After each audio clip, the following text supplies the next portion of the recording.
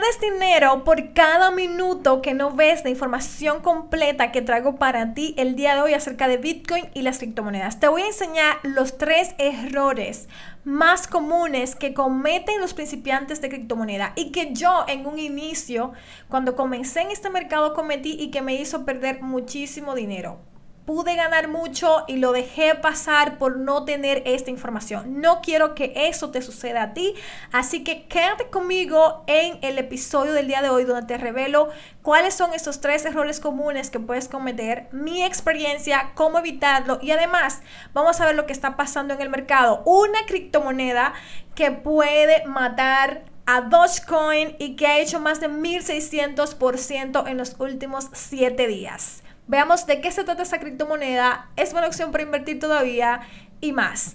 Hola, hola, bienvenidos una vez más a un nuevo episodio de Mundo Cripto, el lugar donde te educamos para que aprendas a invertir de forma inteligente y logres hacer crecer tu capital de inversión tanto en criptomonedas como en otros mercados financieros con el menor riesgo posible. Yo soy Eric Espinal y el día de hoy vamos a comenzar con lo que traigo para ti. Bitcoin está corrigiendo el precio. Hay muchas personas que están entrando en pánico, que todas las criptomonedas han estado bajando después de tener tan emocionante su vida todo el fin de semana. Como siempre saben que hay movimiento fuerte los fines de semana. Regularmente el precio, eh, bueno, se va a la alza o a la baja con todo. Entonces estamos preparándonos siempre para estos movimientos en fines de semana. ¿Qué pasa? Entrando ahora mayo, mayo es un mes donde regularmente se corrige. Sin embargo, vemos que también eh, está consolidándose el precio de Bitcoin. Le ha costado un poco a Bitcoin sobrepasar la barrera de los 60 mil, pero sigo eh, optimista en cuanto a que todavía no hemos terminado el mercado alcista, todavía no lo hemos eh, terminado. Hay gran oportunidad y hay mucho más a dónde ir. Además, ustedes saben los fundamentales, eh, la crisis, todo lo que está sucediendo afuera, el dólar cada vez va perdiendo más y más valor. Entonces, todavía seguimos optimistas y positivos con esta tendencia alcista de Bitcoin y esta corrección ya saben que es sana observar los precios de los 53 mil, que es buena zona, 54 mil todavía para acumular para todas aquellas personas que están esperando buenos precios para comprar Bitcoin. Y vemos también que tuvimos nuevo máximo histórico para Ethereum. Ethereum llegó a los 4.197 dólares según el CoinMarketCap. Eh, como pudieron ver y toda la gente que tiene Ethereum súper contenta con lo que está pasando con esta criptomoneda. Es una alternativa a Bitcoin.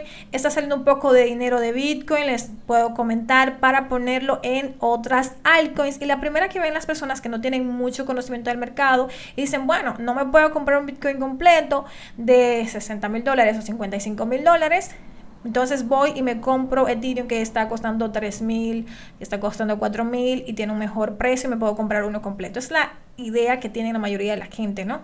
Y algo interesante para tomar en cuenta el día de hoy es que cuando baja el dominio de Bitcoin, entonces las altcoins comienzan a subir y vamos a ver una locura total en las altcoins, es decir, las monedas alternativas a Bitcoin, las otras criptomonedas que no son Bitcoin. Muy interesante lo que puede estar pasando y publicaba un tweet eh, este fin de semana donde decía que se me ponía la piel de gallina porque vemos que la dominancia de Bitcoin en el año 2017 cuando tuvimos este, este rally alcista pues estaba más o menos en menos de 45, menos de 40 eh, por ciento la dominancia de Bitcoin, el dominio de Bitcoin. Entonces es muy importante ver que vamos a tener muchos proyectos que van a estar subiendo. Lamentablemente todos van a subir. Eh, criptomonedas basura que no tienen fundamentales, como los memes que hemos estado viendo, como Dogecoin y otra criptomoneda más que vamos a mencionar aquí el día de hoy, que han estado subiendo bastante, pues te vas a dar cuenta que eh, todo va a subir. Ahora, tienes que tener mucho cuidado dónde pones el dinero, porque todos estos proyectos, cuando la marea baje, pueden bajarte hasta un 99% y quedarte enganchado. Vamos a hablar acerca de esos errores que no debes cometer, que yo misma cometí en el rally pasado para que tú no lo cometas ahora y puedas aprovechar y generar ganancias.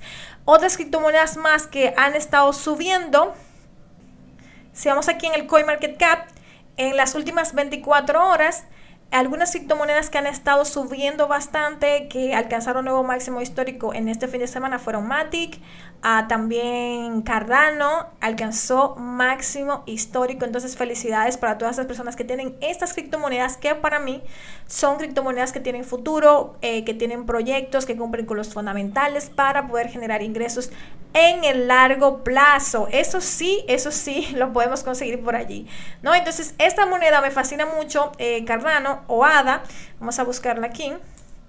Esta criptomoneda, Cardano y Matic, son proyectos muy buenos. De hecho, ya ustedes saben que lo hemos mencionado anteriormente en nuestros podcasts. Eh, Cardano es una de las criptomonedas que tenemos nosotros en nuestro reto de 5 días de inversión en criptomonedas. Si aún no te unes a este reto, te invito a que puedas hacerlo. Vamos a dejar el link en la descripción. Es un reto donde junto con todo mi equipo durante cinco días te estamos apoyando en todo el proceso para que puedas hacer tu inversión en Bitcoin y otras criptomonedas, estrategias de staking, hold y trading y más estrategias. Tenemos un regalo especial para ti al final con un reporte de cinco criptomonedas con futuro en las cuales puedes invertir y mucho más. Así que únete a ese reto aquí en el link en la descripción. Y eh, bueno, llegó a costar según el CoinMarketCap 1.82 dólares, casi 2 dólares y Matic sobrepasó el dólar. Así que felicidades para todas las personas que tienen esta criptomoneda que la mencionamos anteriormente en nuestro eh, podcast como parte de las monedas que nosotros tenemos en nuestro reporte eh, Crypto Mastery Report, que es un reporte donde te damos las criptomonedas que pueden hacer más de 15 mil por ciento en este mercado alcista. Y también vas a descubrir criptomonedas eh, que pueden subir con baja capitalización y alto potencial de crecimiento y la puedes descubrir antes que nadie.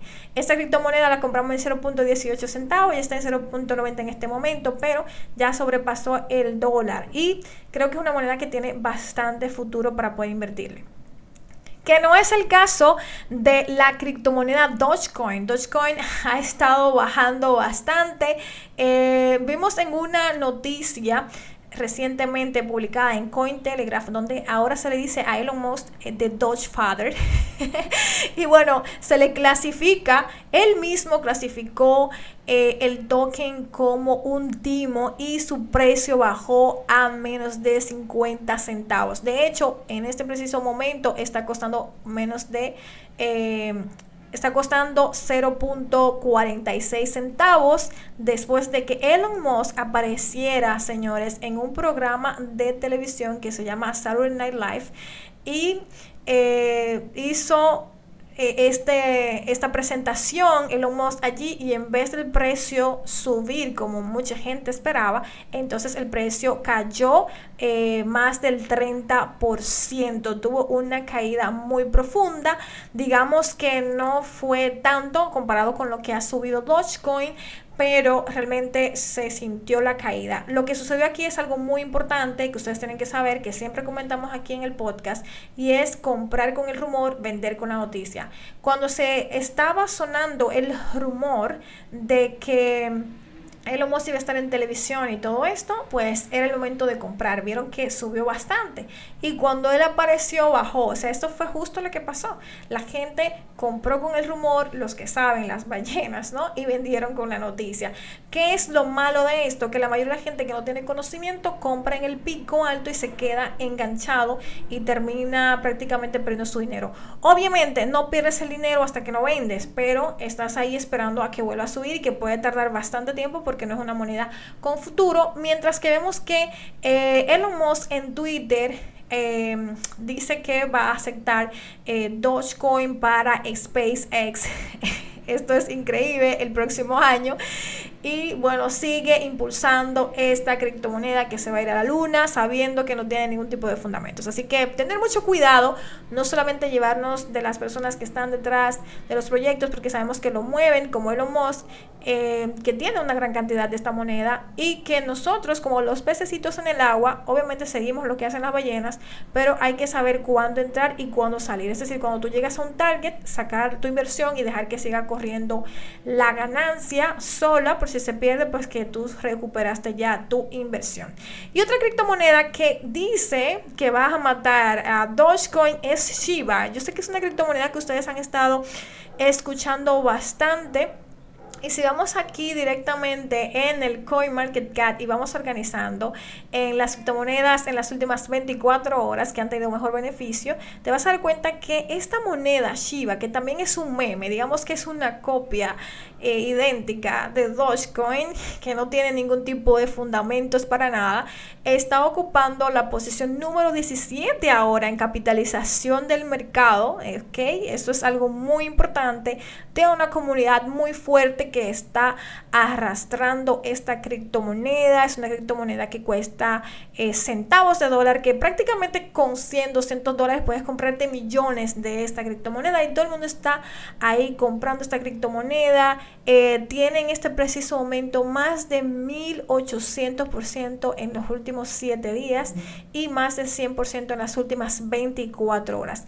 Igual te digo, es una criptomoneda para especular, o sea, no es una criptomoneda que tenga futuro digamos que el dinero que puedes poner aquí es dinero que estés dispuesto a perder, porque estas criptomonedas o estos tokens, porque no es una criptomoneda, es un token, este token como, como Shiba eh, puede subir bastante y dejarte mucho dinero, pero al mismo tiempo cuando baja, baja fuerte, puede bajarte hasta el 99% y quedarte sin nada prácticamente, ¿ok? Y esperar años, que fue el caso que sucedió, eh, por ejemplo, con Ripple, que bajó muchísimo después del real alcista y nunca más se repuso hasta ahora, tres años después. ¿Ok? Lo único que te recomiendo no vender en pérdida eh, si entraste en el pico alto y esperar a que vuelva a, a recuperarse. ¿Ok? Y bueno, eh, ¿qué te digo de lo que va a pasar con el mercado alcista? En este preciso momento veo que estamos apenas iniciando. Es muy probable que vamos a ver muchas criptomonedas subiendo, muchos proyectos buenos subiendo, pero también hay mucha basura subiendo, así que ten mucho cuidado donde pones tu dinero. Aquí creo que estamos justamente en el inicio en el que podemos ver las criptomonedas alternativas, los tokens subiendo de una forma exagerada y mucha gente ganando dinero. Ahora, ¿qué hacer después de eso? ¿Dónde vas a poner el dinero? ¿Qué estrategia tienes de salida? ¿Vas a tomar ganancias? ¿Lo vas a mover a Bitcoin? ¿Qué vas a hacer con ese dinero? Es importante que desde ahora tú comiences a crear un plan estratégico para poder utilizar ese dinero, las ganancias y si, bueno, colocar tu mayor porcentaje de tu capital en Bitcoin, que es la moneda principal. Y si ya conoces los fundamentales de Bitcoin, sabes que el que entra a Bitcoin, como yo, no salimos, por lo menos no totalmente, tomamos un poquito de ganancia, porque está bien tomar un poquito de ganancias eh, para lo que quieras, pagar una deuda, colegiatura, tu carro, pagar tu casa, pagar una deuda, lo que quieras hacer y no salirte por completo del mercado. Entonces, ¿cuáles son esos errores más comunes? Los tres errores más comunes que tú debes evitar cometer eh, al invertir en criptomonedas como principiante. Yo sé que hay mucha gente que está interesada en este mercado de las criptomonedas y que está invirtiendo, pero el error número uno que puedes cometer es invertir sin educarte. O sea, invertir sin tú, sin tú saber lo que estás haciendo. ¿Por qué? Porque cualquier cosa que pase en el mercado te puede alterar. Es decir, por ejemplo, estás invirtiendo en Bitcoin, pero no conoces los fundamentales, lo que hay detrás de esa criptomoneda, cuál es la razón, por qué invertimos en ella, qué es lo que le da valor, qué es lo que la sustenta, por qué funciona como reserva de valor, qué es lo que hace que esta criptomoneda pueda valorarse en el futuro o sea, cuando no tienes ese conocimiento y digamos que ves el precio de Bitcoin caer un 20, 30 o 40%, Señores, yo sé que, que, realmente ver tu inversión caer es bastante fuerte y que se te acelera el corazón y entonces quieres cometer el error número dos, que es vender cuando el precio baja y comprar cuando el precio está subiendo. Hay muchas personas que me preguntan, Erika, cuando el precio está bajando, va a seguir bajando para vender ahora y volver a comprar abajo, que es otro error también importante que se comete.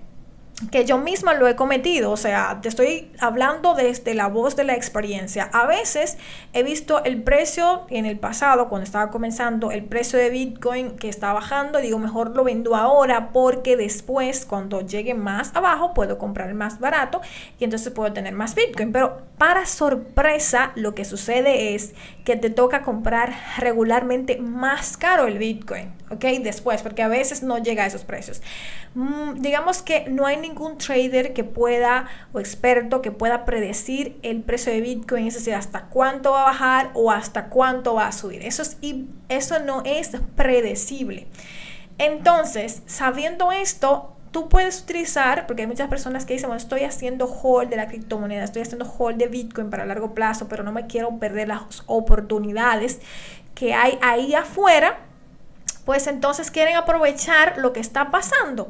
Pero, ¿qué te puedo decir en cuanto a esto? Utiliza, utiliza solamente un 10% para especular. Y el otro 90% de tus bitcoins, déjalo en hold, déjalo ahí en ahorros para largo plazo, porque está, mira, comprobado por mí y por muchas personas que yo sé que me están escuchando, que me pueden escribir aquí en los comentarios si también les ha pasado y se identifican conmigo, en que han querido hacer esto de volver a comprar abajo y les ha tocado volver a comprar más caro o te ha dejado afuera. Te voy a explicar un caso que me pasó recién, no hace mucho tiempo, cuando Bitcoin alcanzó los 30 mil dólares, yo vendí para volver a comprar de nuevo abajo, ¿ok? Porque era un precio que nunca había estado. ¿Qué pasa? Me quedé afuera, pero me quedé afuera con un 5%, no con todos mis bitcoins. Imagínate que yo hubiese vendido el 50% de mis bitcoins, o sea, estuviera fatal para mí, ¿no? Pero como no lo hice inteligentemente, voy a jugar con un 5 o un 10%, pues me quedé afuera con eso, que no está mal porque lo compré bien barato.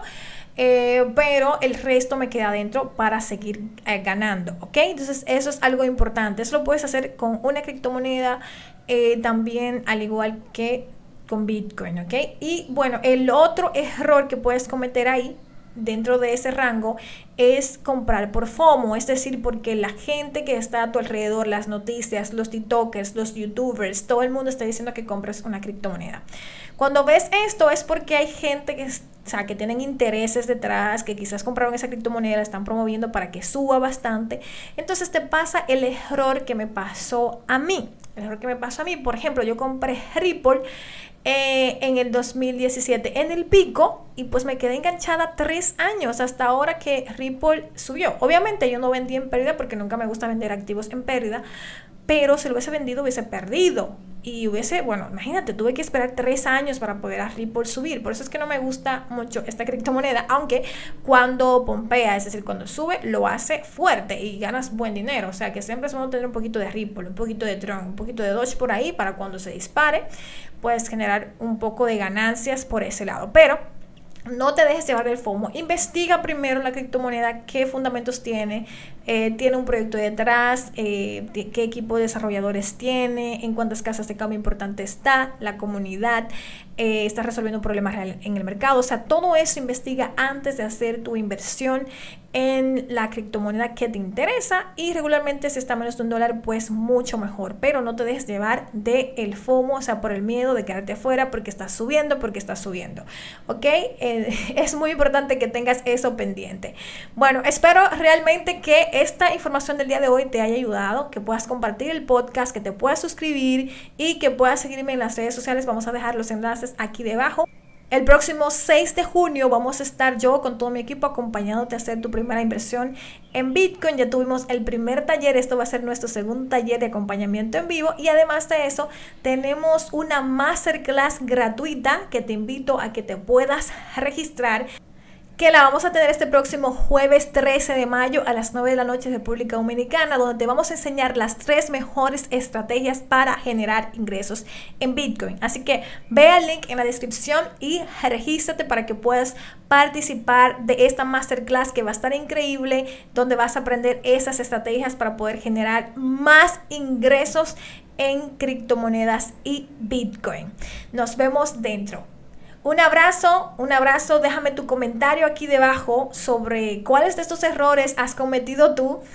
y bueno, me gustaría leerte para poder apoyarte también a resolver las dudas y preguntas que tengas.